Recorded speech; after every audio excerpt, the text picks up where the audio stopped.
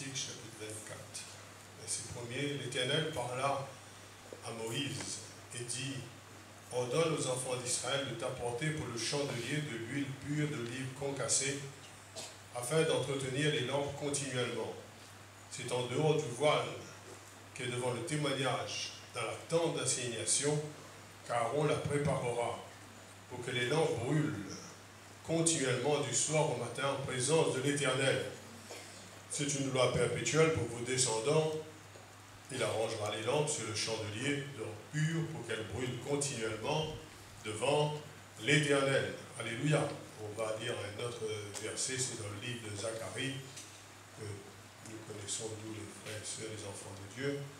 Le livre de Zacharie, chapitre 4, au verset, au verset 6.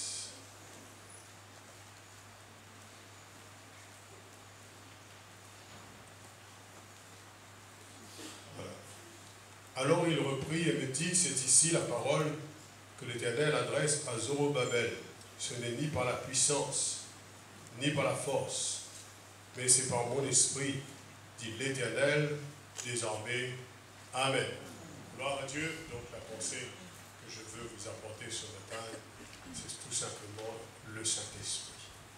C'est une personne, c'est pas, pas une influence, hein. c'est pas une émanation quelconque venant de l'extérieur, un fluide spirituel euh, qu'on va recevoir. Non, c'est le Seigneur. L'Esprit, c'est le Seigneur. C'est la présence réelle et vivante de Dieu au milieu de son peuple. Alléluia.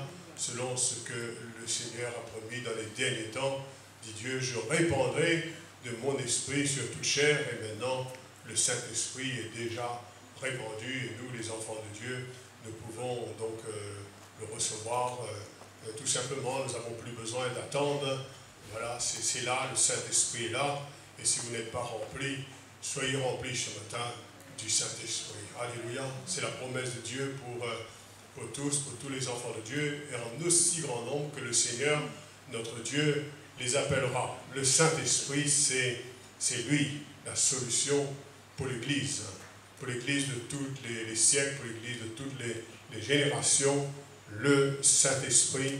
Et donc c'est lui la solution pour notre temps, pour accomplir cette grande mission d'évangélisation que le Seigneur nous a confiée parce que nous sommes conscients qu'il y a beaucoup plus qui ne sont pas entrés que ceux qui sont entrés. Nous sommes contents de voir ceux qui sont là, mais nous sommes aussi pressés de voir ceux qui sont dehors d'entrer. Jésus a dit encore beaucoup de brebis qui ne sont pas de cette bergerie il faut que je les amène. Alors il y aura un seul troupeau, il y aura un seul berger. Alléluia. Et donc, euh, quand nous lisons ce passage de l'Ancienne Alliance euh, concernant le, tabernacle qui était à ce moment-là la, maison de Dieu dans le désert, Dieu avait demandé, dit, me feront un sanctuaire et j'habiterai au milieu d'eux. Et donc, euh, ce tabernacle était partagé en deux parties l'avant, donc euh, le lieu saint, où les sacrificateurs entraient pour euh, accomplir leur, euh, leur fonction. Hein, Rappelons-nous donc Zacharie qui rentre dans le temple, le père de Jean-Baptiste.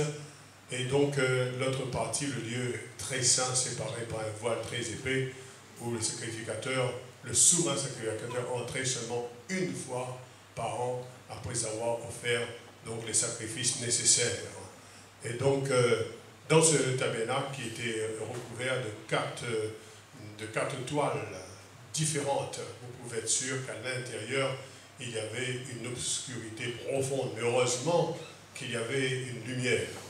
La seule lumière qui brillait à l'intérieur de ce tabernacle, c'était celle du chandelier à cette branche. Et ce chandelier, cette lampe à cette branche, devait être entretenu euh, constamment en permanence, il fallait entretenir cette, cette lampe pour que toutes les, les, lampes puissent brûler du soir au matin et du matin jusqu'au soir. Seigneur dit, devait donc éclairer continuellement, en permanence. Il fallait que ça brille. Et l'huile qui alimentait cette, cette lampe à, à cette branche devait être préparée par les sacrificateurs devant, devant le voile puisqu'il avait le voile, devant le voile, face à l'arche de l'Alliance, l'arche de sa présence, hein, qui symbolisait, qui symbolisait la, la présence de Dieu au milieu du peuple de Dieu. On va dire donc que c'était une huile spéciale préparée sous le regard de Dieu. Et cette huile est un des symboles forts du Saint-Esprit, quand nous connaissons d'autres symboles, hein, tel le vent, tel le feu, tel la colonne, tel l'eau. Hein, donc, euh, mais, l'huile est un symbole fort du Saint-Esprit et ce Saint-Esprit ne provient pas des efforts humains. Il n'y a pas des efforts à faire, il n'y a pas des, inventions aussi qui viendraient, de l'homme. Ça ne vient pas non plus des mérites, hein, comme si ceux qui ont été remplis du Saint-Esprit, ils avaient un mérite quelconque. Non, tout est dans, le Seigneur, tout est par grâce. Tout est par grâce. Et la grâce, c'est quelque chose, c'est une faveur qu'on ne mérite pas.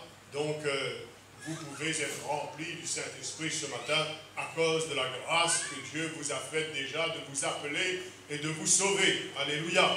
Et donc, euh, le Seigneur Jésus a reçu du Père le Saint-Esprit, le dit l'apôtre Pierre dans, dans sa prédication, et il dit, elle a répandu sur vous, comme vous le voyez, et comme vous l'entendez, comme ça s'est passé le jour de la Pentecôte, où des langues, des langues semblables à des langues de feu, leur sont apparues, et se posèrent sur chacun de ces disciples qui étaient là.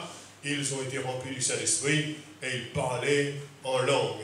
Et donc, euh, oui, qu'il y eut la multitude accourue, et il disait, mais ces gens qui parlent en langue, ils sont ivres, mais Pierre a dit non, mais ils ne sont pas ivres comme vous le croyez, mais c'est ici la prophétie de Joël qui a dit dans les derniers temps, je répandrai de mon esprit sur toute chair. Alléluia. Dieu va répondre, Dieu va encore inonder nos cœurs ce matin du Saint-Esprit parce que son Église est là et l'Église a besoin d'être remplie du Saint-Esprit. Alléluia. Dans les derniers temps, donc dans les temps compliqués, dans les temps difficiles, dans les temps où les ténèbres s'amoncellent sur la terre, eh bien Dieu veut remplir son Église du Saint-Esprit pour que cette Église puisse apporter dans ce monde un témoignage vivant, un témoignage puissant de la présence de Dieu et de sa glorieuse réalité au milieu de nous. Le monde qui vient eh bien, au milieu de nous, le monde qui, qui va nous côtoyer doit être conscient euh, non pas de quelque chose, mais de quelqu'un, d'une présence, de la présence de Dieu par le Saint-Esprit, nous dit la Bible. Les secrets des cœurs sont dévoilés, de sorte que tombant sur leur face, eh bien, l'inconverti va dire, Dieu est réellement au milieu de nous. Alléluia, c'est notre souhait, c'est notre prière que ceux qui viennent pour la première fois, ils rencontrent le Seigneur. Voilà, ils disent, mais il y a quelque chose de particulier que j'ai ressenti au milieu de vous quand j'étais là. Et nous, on peut leur répondre avec assurance, ça c'est le Seigneur. Alléluia, ça c'est la présence de Dieu qui se manifeste au milieu de son peuple. Et c'est par le Saint-Esprit que nous pouvons apporter à tous ces gens, tous ces, ces inconvertis, eh bien, ce témoignage glorieux, puissant de la présence du Seigneur. Et tout comme cette huile du chandelier était préparé devant le témoignage, devant l'arche de, l'Alliance, qui est le signe de la présence, pardon, de la présence de Dieu au milieu de son peuple, le chrétien doit se préparer, il doit se préparer tous les jours pour être rempli du Saint-Esprit. Il ne s'agit pas d'avoir été rempli il y a quelques jours, quelques mois ou quelques années, mais il s'agit d'être rempli tous les jours du Saint-Esprit. Alléluia et un serviteur de Dieu qui prêchait dans cette salle un jour vous a sûrement fait une surprise en disant vous savez, frères et sœurs, quand est-ce que j'ai été rempli du Saint-Esprit?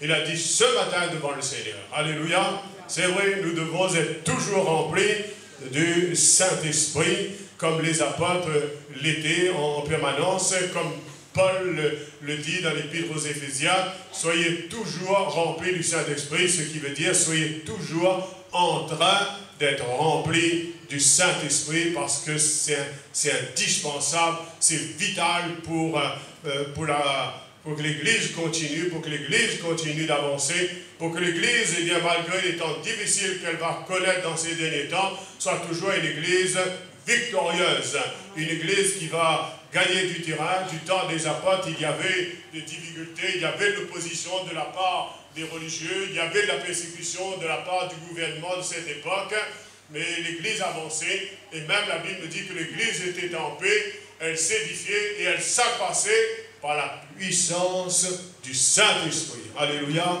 Et telle doit être aujourd'hui notre, notre qualité à nous, notre situation à nous, euh, de voir l'Église grandir par la puissance du Saint-Esprit. Alors nous n'avons pas le droit de dire, ah vous savez, maintenant c'est compliqué, maintenant c'est difficile, maintenant, eh bien, les jeunes eh bien, ne sont plus à l'écoute de la parole de Dieu comme avant, il n'y a plus des moments de prière comme avant. Voilà, on va essayer d'avoir un peu la nostalgie du passé, mais éloignons-nous de la nostalgie, frères et sœurs. Par le Saint-Esprit, le meilleur n'est pas derrière nous, le meilleur est devant. Amen. Amen. Le meilleur est devant nous, frères et sœurs. Nous devons le croire parce que, comme vous le chantez si bien, moi aussi, hein, le Saint-Esprit est là et tout peut arriver. Alléluia. Et comme dit un jour un serviteur de Dieu, ben, il dit quand il n'est pas là aussi, tout peut arriver. Hein. Voilà. Mais préférons qu'il soit là. Alléluia. Désirons qu'il soit là. Et pour cela, nous devons, nous préparer. Le chrétien doit se préparer. Du temps des apôtres, vous voyez qu'à un moment donné, eh bien, il disait, Seigneur, tu vois les menaces, tu vois l'opposition, mais Seigneur, eh bien, étends ta main, Seigneur, que tes serviteurs soient loin d'Esprit Saint et de force, et qu'ils nous sollicitent au point que peut-être certains disent, oh, mais maintenant je n'ai plus le temps comme avant. Je comprends que vous n'ayez pas le temps, mais je vous demande de la part du Seigneur de prendre le temps. Alléluia. Prenez le temps nécessaire et et je disais donc à un frère ici dernièrement, c'est vrai vous avez mille choses à faire, mais vous devez prendre le temps qu'il faut pour vous tenir devant le Seigneur, pour venir écouter la parole de Dieu, parce que le royaume de Dieu, ce sont les violents qui s'en emparent, et nous devons nous faire violence sur nous-mêmes. Alléluia. Ne pas nous laisser emporter par les vents de la terre, par les choses de la terre, frères et sœurs. Nous avons nos pieds sur la terre, mais notre cœur et notre vie avec le Seigneur. Alléluia. Sans lui, nous ne pouvons rien faire. Il nous a communiqué, il nous a donné une mission, et cette mission, nous allons pouvoir l'accomplir. Si nous nous tenons devant le Seigneur, sinon, frères et sœurs, eh bien, il va y arriver que notre lumière va commencer à perdre de son éclat. Je suis persuadé que vous ne voulez pas cela, que la lumière commence à, à perdre son éclat. Lorsque nous lisons du temps de Samuel, nous est dit que la lumière dans le temple n'était pas encore éteinte. Ça voudrait dire qu'à un moment donné, ils n'ont plus entretenu les, lampes et, la lumière dans la maison de Dieu s'est éteinte. Et donc, au lieu d'offrir un culte à Dieu, ils ont offert un culte aux idoles, à Baal et à Starté. Ils ont même fermé le temple qui a été réouvert puisqu'il y a eu un moment d'action puissante de l'Esprit du temps d'Ézéchias, le roi de Juda. Alléluia. Donc ne, tombe pas dans ce piège que notre lumière perde de son éclat. Et pire encore, que la lampe s'éteigne et qu'il n'y a plus de lumière, qu'il n'y a plus de, euh, d'huile dans notre lampe, il n'y a plus de force, il n'y a plus d'énergie.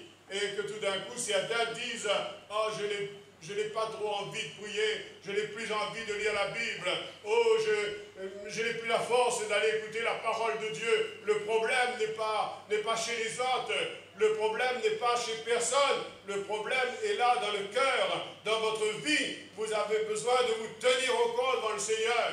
Et vous devez vous faire violence sur vous-même en disant, je vais prendre le temps nécessaire. Alléluia.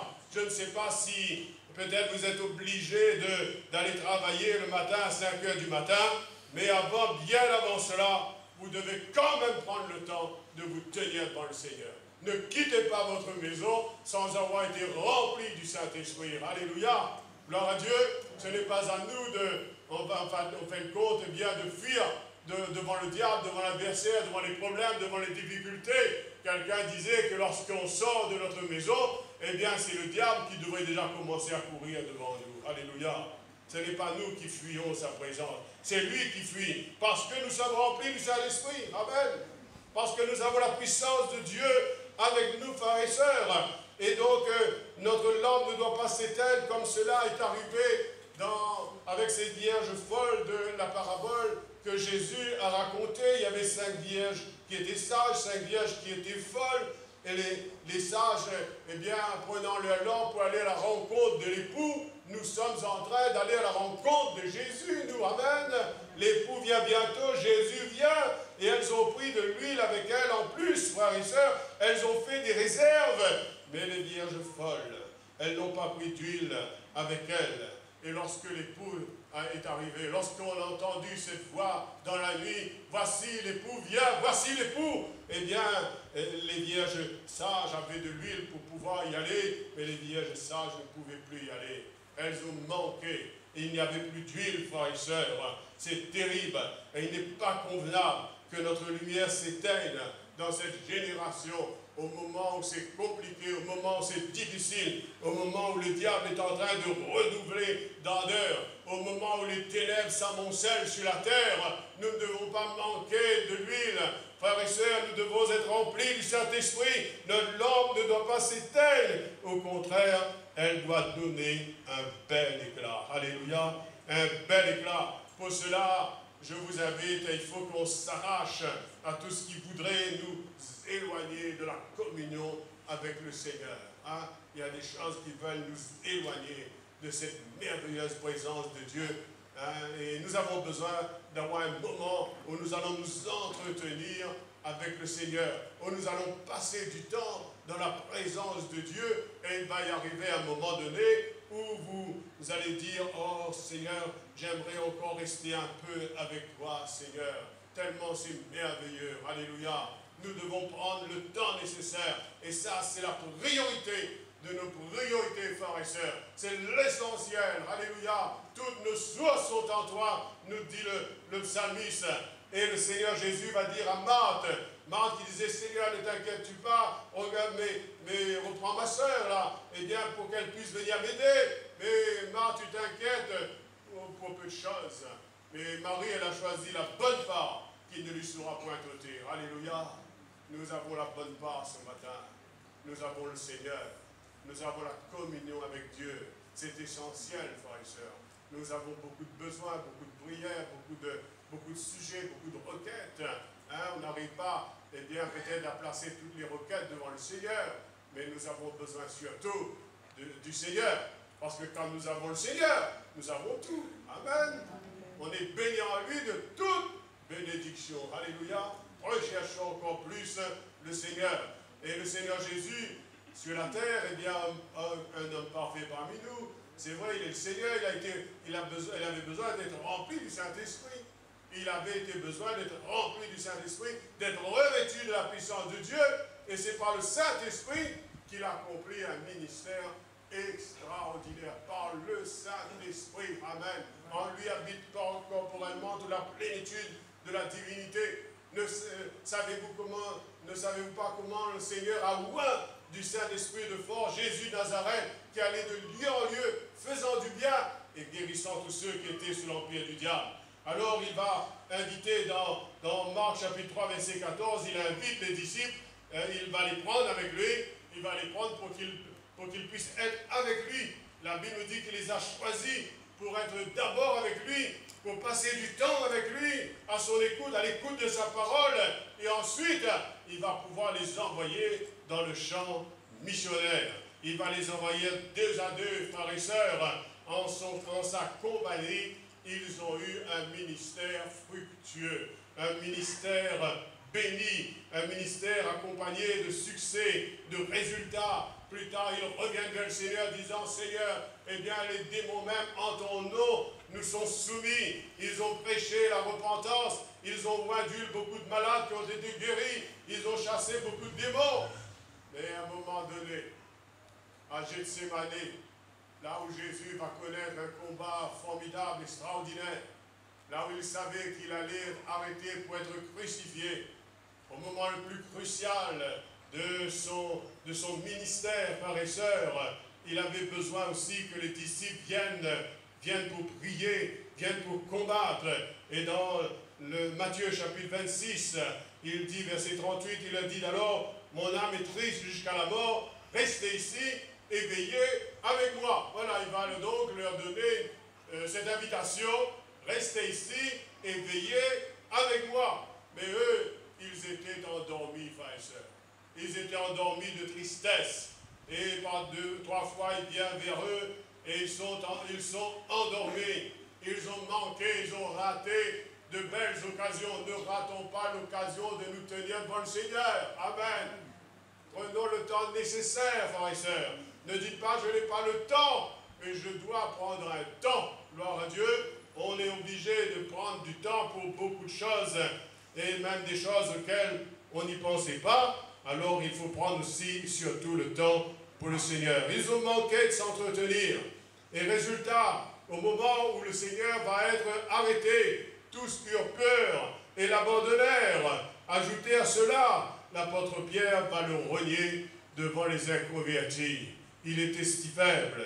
Il a perdu toute sa force à ce moment-là. Il a perdu son courage. Il a perdu son engouement, il a perdu comme son zèle, il a perdu comme sa flamme, frère et sœurs. Lui qui disait, Seigneur, je mourrai pour toi, Seigneur, je te suivrai jusqu'au bout. Mais là, eh bien, malgré toutes ces bonnes résolutions, il a perdu sa force, il a perdu son énergie, il a perdu son dynamisme, et il n'avait plus la, capacité de prendre position pour le maître. Sa lampe avait perdu de son éclat. Heureusement que sa lampe ne s'est pas éteinte euh, complètement, parce que Jésus avait dit en amont, j'ai prié pour vous, afin que votre foi ne défaille point. Alléluia.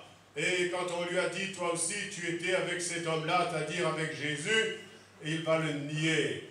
Et il va se mettre même à faire des imprécations, à prononcer des paroles de malédiction et à dire, je ne connais pas cet homme. Je ne connais pas ce Jésus dont, dont vous me parlez. Et tout cela, pourquoi, frères et sœurs Il avait manqué de s'entretenir avec Jésus dans la prière. Il avait raté un moment important. Et Jésus va leur dire dans Matthieu chapitre 26 au verset 40, vous n'avez donc pu veiller une heure avec moi. Vous n'avez donc pu veiller une heure avec moi. Heureusement que par la suite, ils se sont rachetés.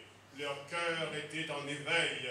Ils euh, se sont tenus devant le Seigneur. C'était après l'enlèvement de Jésus dans le ciel. Ils sont allés dans la chambre haute. Et là, la Bible dit que tous d'un commun accord persévéraient dans la prière. Ils avaient sûrement pas mal de choses à faire. Ils ont dû le faire. Ils avaient leurs besoins. Ils devaient dormir comme tous les autres mais ils ont donné la priorité à la présence du Seigneur. Ils ont cherché le Seigneur. Alléluia. Ça vaut le coup de chercher le Seigneur.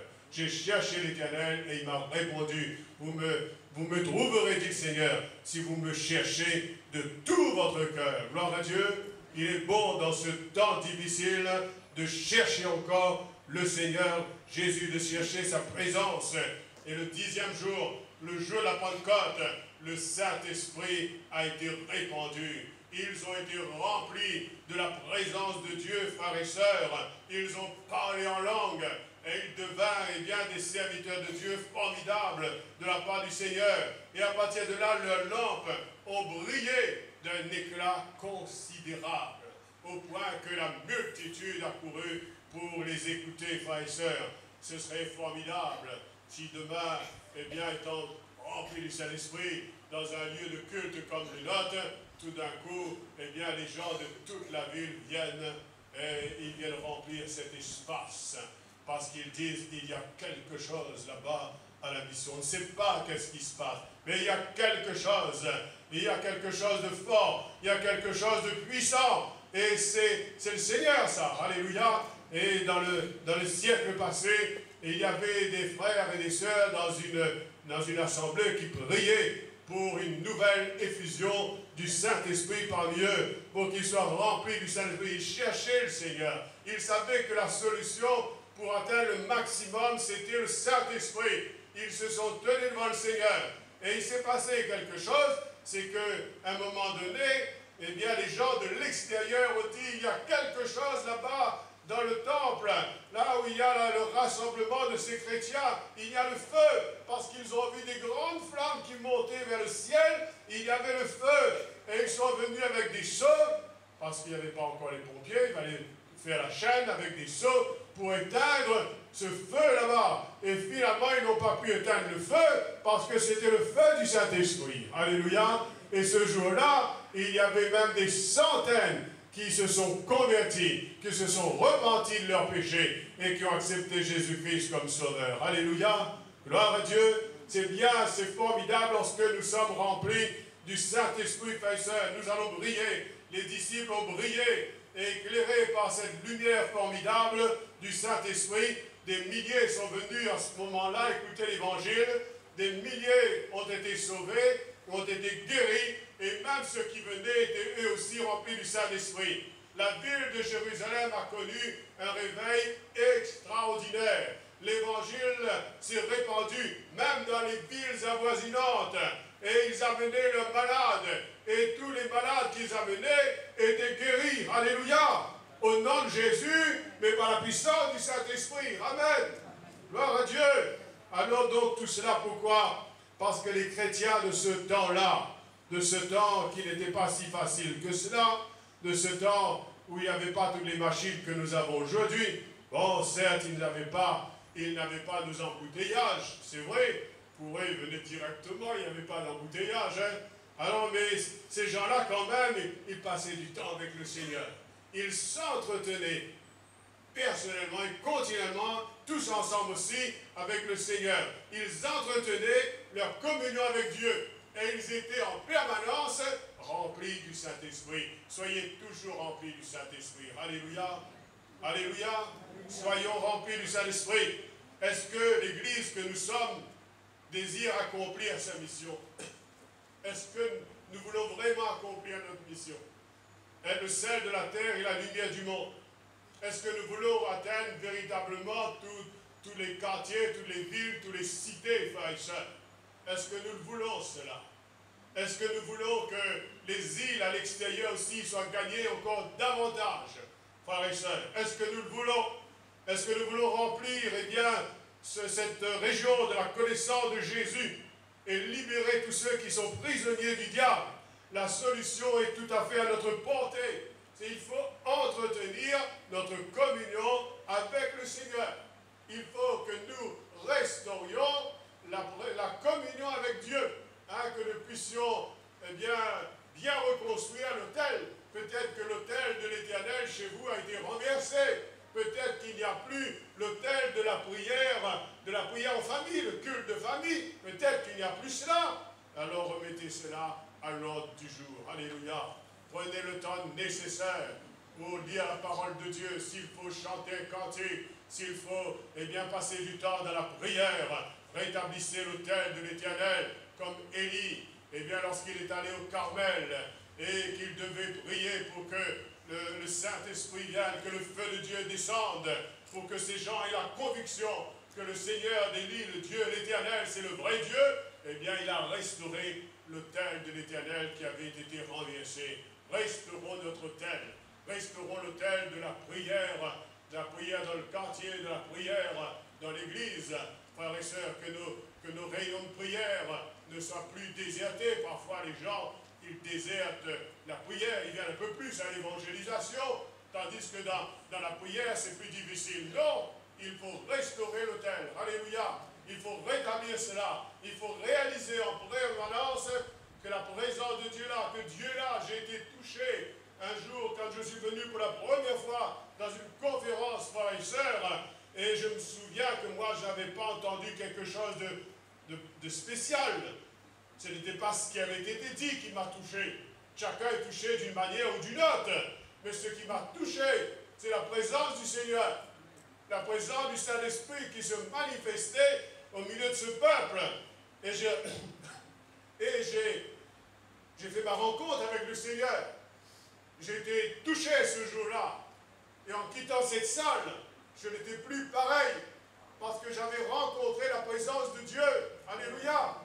Je savais que ce n'était pas une image, ce n'était pas une religion, mais c'était le Dieu vivant et vrai. Est-ce qu'il ne serait pas bien de restaurer la communion, de retrouver cette communion avec le Seigneur, cette présence de Dieu vivante, puissante, libératrice, alléluia, qui sauve, qui transforme les cœurs, qui va baptiser les, enfants les, petits-enfants du, euh, du Saint-Esprit, frères et sœurs. Nos, jeunes ont besoin de recevoir la puissance de Dieu aussi, parce que les temps qui viennent sont des temps difficiles. Mais s'ils sont remplis du Saint-Esprit, ils vont triompher et nous aurons la joie de voir une belle génération après nous se lever au servir le Seigneur. Alléluia. Gens non pas qui vont faire ce que nous, nous avons fait, mais pourquoi pas qu'ils feraient encore plus d'œuvres que ce que nous, nous avons fait. Jésus a dit que celui qui croit en moi, il fera les œuvres que je fais, et il en fera même de plus grandes, parce que je m'en vais au Père. Mais comment nous allons faire, Seigneur, des œuvres plus grandes que toi? Eh bien, c'est ça, c'est par le Saint-Esprit. Amen. C'est par le Saint-Esprit. Soyons donc remplis du Saint-Esprit. Il est temps, frères et si vous comprenez cet appel ce matin, de retrouver une communion merveilleuse avec le Seigneur.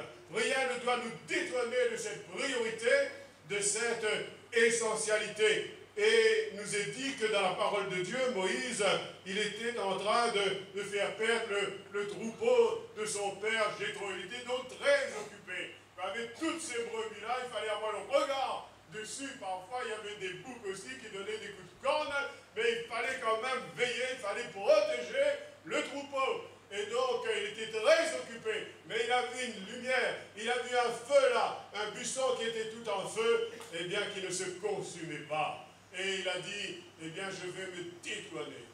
Il laisse un instant son travail, ses affaires. Je vais me... Il s'est approché. Qu'est-ce qui s'est passé?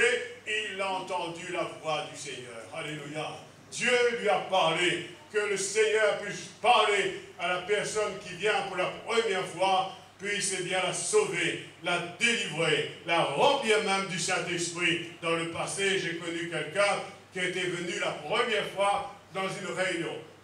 Dieu l'avait touché, frères et sœurs. Et ce jour-là, c'était un culte, et il a été même rempli du Saint-Esprit. Alléluia. Première fois, il est rempli du Saint-Esprit. Que Dieu soit béni. Moïse se détourna pour voir. Il est temps, frères et de ne pas nous laisser détourner, mais nous maintenant de retourner davantage vers le Seigneur, de passer du temps dans la présence de Dieu. Moïse est quelqu'un qui dit, Seigneur, si tu ne viens pas avec nous, ne nous fais pas partir loin d'ici. Alléluia. On ne veut pas venir dans ce culte sans la présence du Seigneur, sans être rempli du Saint-Esprit. Alléluia. Vous avez mille choses à faire, je sais. Et peut-être que le, dimanche matin, pour le culte à 8h30, peut-être que vous voulez lever à 7h30. Hein? Mais comment vous avez le temps de vous préparer? Vous venez en course? Vous venez en course, frères et sœurs? Non. Il faut nous préparer déjà d'avance la veille, je ne sais pas quoi, et pour dire, Seigneur, manifeste-toi dans ce culte. Alléluia. Seigneur, sauve des âmes. Seigneur, guéris des malades. Gloire à Dieu. Seigneur, remplis tous les frères et sœurs du Saint-Esprit. Voilà. Et donc, tout ce que le Seigneur veut faire aujourd'hui, en âme sauvée, en multiplication d'ouvriers, nous avons besoin encore de beaucoup d'ouvriers, de beaucoup de pasteurs, de beaucoup de serviteurs de Dieu. Nous avons besoin de la relève. Tout le temps, je dis aux frères et sœurs qui servent, mais est-ce que vous avez la relève? Est-ce que vous avez la relève? Ou bien après vous, c'est fini. Le travail s'arrête. L'œuvre que Dieu vous a confiée, eh bien cette œuvre va s'arrêter. Ce n'est pas question de cela. Il faut la relève, frères et sœurs. Il faut que d'autres se lèvent, des jeunes se lèvent, remplis du Saint-Esprit, exerçant les dons spirituels, priant le Seigneur, élevant leur voix dans l'Église. Nous attendons cela. Et ça va se faire comment? Ni par la force, ni par la puissance, mais Dieu dit c'est pas mon esprit. Alléluia. Vous voyez des montagnes ce matin? Moi aussi, je vois des montagnes.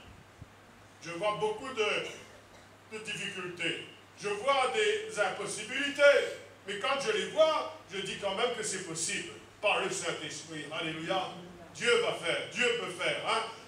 Marie a dit à l'ange Gabriel, puisque l'ange lui a dit, tu vas avoir un fils. Hein? Eh bien, il sera grand devant, devant la face de Dieu. Voilà. Mais elle, quand elle entend ça, elle dit, mais comment ça va, ça va se faire? Je ne connais pas d'homme. Et l'ange lui dit, le Saint-Esprit viendra sur toi, la puissance du Très-Haut te couvrira de son ombre, c'est pourquoi l'enfant qui naîtra de toi sera appelé Fils de Dieu. Car rien n'est impossible à Dieu. Alléluia. rien n'est impossible à Dieu. Que ce lieu de culte soit rempli dimanche prochain, encore qu'il n'y ait plus de place. Comme j'étais pasteur à Saint-Louis dans les années 80, eh bien, les frères viennent me voir pendant que ma tête est baissée. Et il me dit, frère, il y a un problème. Il y a un problème. Je dis, quel problème? Ben, il n'y a plus de place. Je dis, gloire à Dieu. Alléluia. Gloire à Dieu. Nous avons agrandi deux fois le lieu de culte, mais après, ben, à un moment donné, vous êtes carrément chez le voisin, il faut arrêter. Hein? Et puis après, on nous a dit que cette zone est en plein bouleversement, il faut, chercher autre chose. Et le Seigneur a permis qu'on trouve une salle 162 rue Jean 23. Voilà. Et donc, euh, on a bâti une salle, une grande salle, et j'étais quelque peu gêné de dire à mon pasteur que la salle que nous allons construire est plus grande que toutes les autres salles du Sud. Voilà, j'avais un peu peur de lui dire, qu'il me dit, mais, tu as des idées un peu trop grandes là, hein Mais avec le Seigneur, c'est jamais grand les idées. Parce que Dieu est plus grand que nos idées. Amen. Et à celui qui peut faire par sa puissance qui agit en nous, comment? Comment?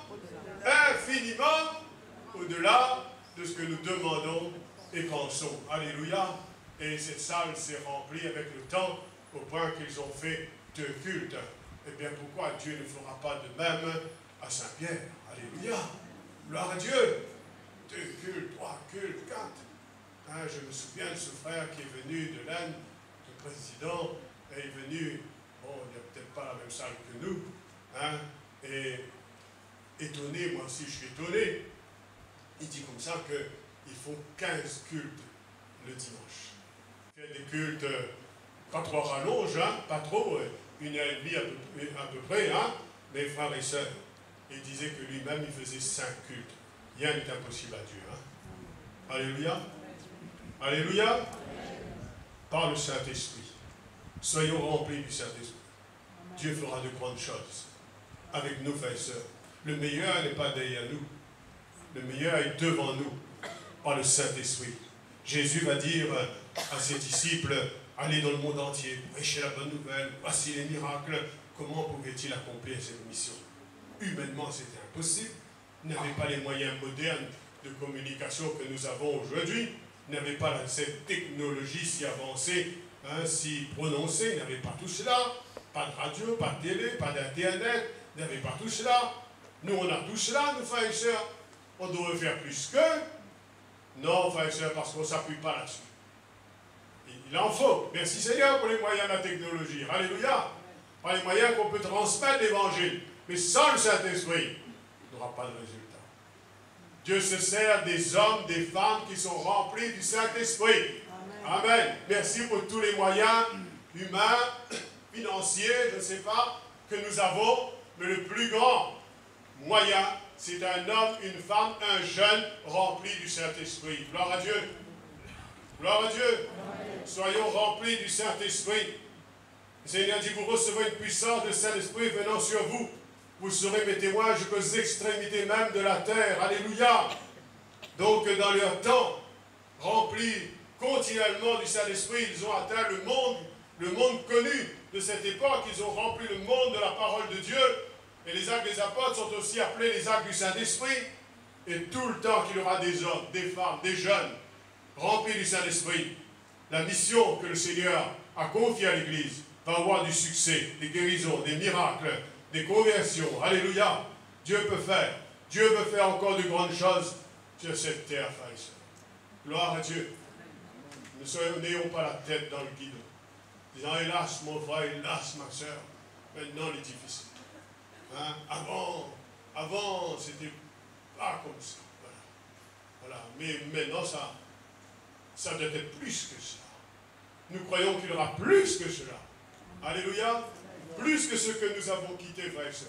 On n'a pas la, nostalgie du passé. Le temps de la mission et des missions n'est pas terminé. L'important, entretenons nos lampes hein, pour que notre lumière puisse briller, puisse briller d'un éclat incomparable, d'un éclat qui va, euh, va s'étendre dans toute euh, cette ville, dans toute cette région et même au-delà. Mais il faut entretenir notre communion. comme au jour de la Pentecôte, le Saint-Esprit va va se manifester encore avec puissance. Et je termine en vous disant, l'histoire n'a pas encore écrit tout ce que Dieu veut faire à travers des hommes et des femmes remplis du Saint-Esprit. L'histoire n'a pas encore écrit. Les actes du Saint-Esprit, les actes des apôtres sont aussi appelés les actes du Saint-Esprit. Mais les actes du Saint-Esprit ne sont pas terminés. Vous et moi, nous avons encore l'opportunité d'écrire peut-être les dernières pages, peut-être la dernière page. Alléluia. Alléluia. C'est à vous de croire. Mais c'est à vous aussi de vous tenir devant le Seigneur. C'est à vous de payer le prix, de chercher la face de Dieu. Élie s'est tenu dans la prière. Il s'est levé pour demander que le feu de Dieu vienne. Et il a restauré l'autel.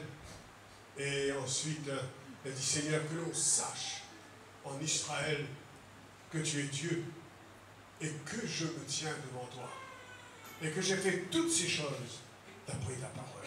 Donc ce qui est essentiel dans cette prière, c'est qu'il dit qu'on sache que tu es Dieu, mais qu'on sache aussi que je suis ton serviteur et que je me tiens devant toi. Amen. Pourront-ils savoir que nous sommes le peuple de Dieu, l'Église du Dieu vivant, que Dieu est réellement mis de nous, frères Pourront-ils le savoir, ceux qui nous entourent? Il n'y a qu'une seule solution. Ce n'est ni par la force, ni par la puissance, dit Dieu, mais par mon esprit. Alléluia. Prions le Seigneur. Louons le Seigneur de tout notre cœur, frères et sœurs. Alléluia.